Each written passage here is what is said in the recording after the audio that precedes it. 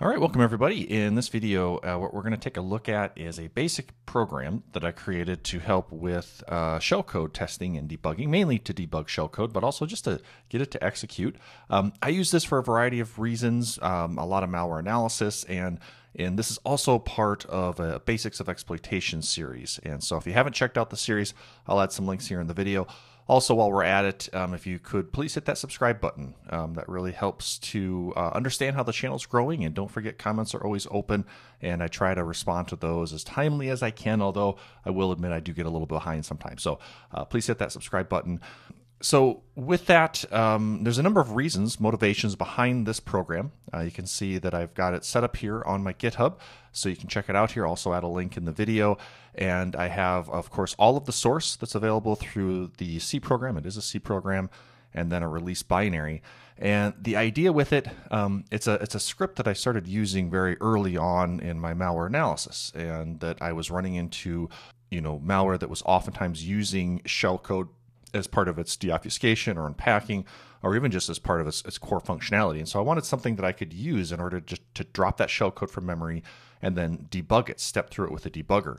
Uh, of course, in the context of exploitation, uh, this is also helpful to either generate shellcode um, through tools like we've done in our last video using MSF Venom if you haven't watched it. Uh, but then also um, being able to, to run the shellcode to make sure that it actually works before we try using it in the context of exploiting a program. So we'll go through the usage here. Try to keep this video short. It's going to be relatively straightforward. Uh, just a couple different arguments here that you'll be able to explore. Uh, as for the code itself, probably could be written a little more elegantly, but uh, hopefully it's in the ballpark. It certainly works, but um, of course, if there are bugs or feature requests, the you know that part of this GitHub repo is open. Um, I also use it as an opportunity. You know, why why create another shellcode program? There are uh, plenty of them out there. Uh, for me personally, it, it just helps because it allows me then to spend some time more time writing C, something that uh, not being, you know, or have a, an extensive history of C development. I look at a lot of C through IDA and through reversing, but I don't author a lot of C and C++. It just gives me an opportunity uh, to go through and, and, write some code and um, and just, I guess, more practice than anything. Uh, but also, hopefully, it serves a purpose here, uh, as you'll see. Okay, so to get started, we can use the dash H argument to get some usage information. Uh, dash F will provide a path to the file. So we'll, there are two ways in which you can get this utility to load shellcode. I think probably gonna, that's going to be the most helpful is just to use the dash F argument and provide a file. That'll take the file and load all of the content, treat it as shellcode, get it into memory. Um, if you look at the source of the program, there's also a way to define an internal array so if you're getting your shell code and it's already in the format of, of a C style array, it's pretty easy to copy paste that in. And then what you can do is you'll have to recompile the program and then execute it, and it'll execute the shell code via that array. So it's up to you. We're going to use the file argument here, load our shell code from a file. Uh, the last two arguments then are designed for um, debugging. And the first one will be to insert a breakpoint before the shell code. So that will you know insert a hex CC so that will insert a hex CC byte in int3 right well right before the shellcode. So that way, if you're when you're running the shellcode under a debugger, it'll automatically break. You don't have to try to calculate the address and set a breakpoint yourself. And in the situations where your shellcode doesn't begin at the beginning of the binary blob, maybe the entry point into the shellcode is some offset. Um, the dash O argument allows you to define that. So that's the offset in bytes, um, which then you can either jump to that location and if you def- if you provide the dash BP argument, that'll also set a breakpoint there. So so you can use this independently if the entry point in your shellcode is just simply an offset. You can use it in conjunction with BP because then that'll take at that offset and add adjust the shellcode to add an int3 so that it'll break at that entry point. Um, or you can just define the breakpoint without the offset, and that will then assume that the entry point is the beginning of the shellcode blob, and it'll insert a breakpoint there. Okay, so how does this look? Well, uh, dash F. Uh, I used equal signs to delineate the, the you know the argument key and the value. So do you do need to keep those. Um, sc.bin. So this will be a relative path to the file that contains your shellcode.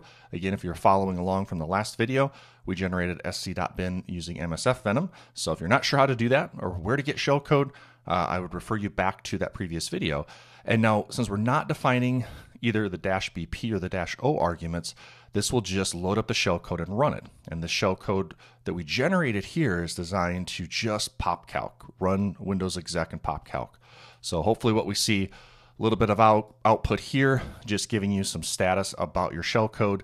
And as you can see, calculator did pop. So this tells us that our shellcode did in fact work. So the shellcode we generated worked as advertised. Okay, now, not all shellcode is going to be as glamorous as popping calc. And so what if we want to debug it, right? And, and, and this, and I guess one other use case I didn't mention. Um, so I, you know, if I'm, if you're writing your own shellcode, you're definitely going to spend a lot of time in a debugger. This can help with that. Um, if you're just getting shellcode that you need to analyze from malware, from an exploit, this can help with that as well. Um, so we'll use WinDebug. I'll show you here. I already had it open. If we go to File, I'm going to use the Launch Executable Advanced, and I'm not worried about time travel debug in this case. What I do want to define though is the file, because again, I want to load the shellcode from a file. It's not coming from that internal array. And I'm just going to define a breakpoint using the dash BP argument. In this case, there is no need for an equal or a value. Um, now, what this will do, because this shellcode that was generated, the entry point is the beginning of the shellcode.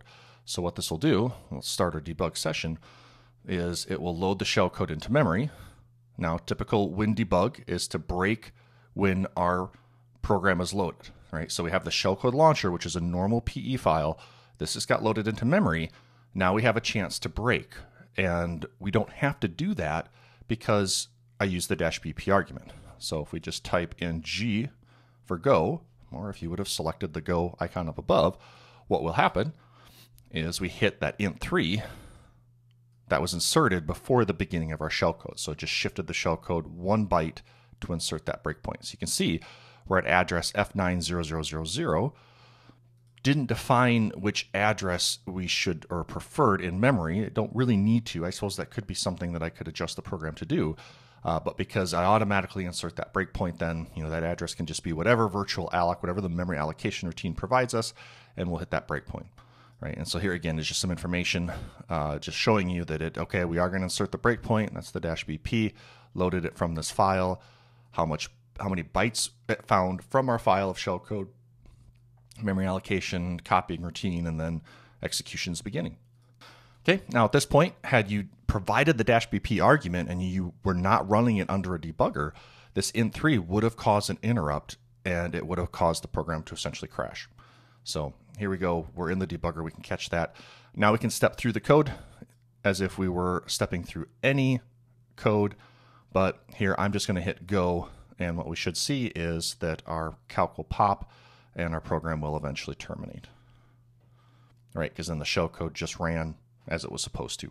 So in the case where maybe you're you're testing shellcode and it's it's causing issues, now you could try to debug it, you know, identify or isolate that location where you're running into problems and figure out what the problem is. In this case, for this series, I wanted to have shellcode to pop calc to use in our in our toy program. And this is just allowing me to ensure that the shellcode works before I try to exploit the program. Okay, so again, you can find the program. It's on my GitHub a I'm not the most clever at creating names, and I guess I didn't even try to consult with ChatGPT or Bard. Um, so I just called it SC Launcher for Shellcode Launcher, and uh, it's available. Uh, please, uh, any bug reports, pull requests, issues, um, feel free to report those. Um, all right, in our next video, then, what we'll do is we'll get into using this shellcode in our exploitable program. So, hope to see you then.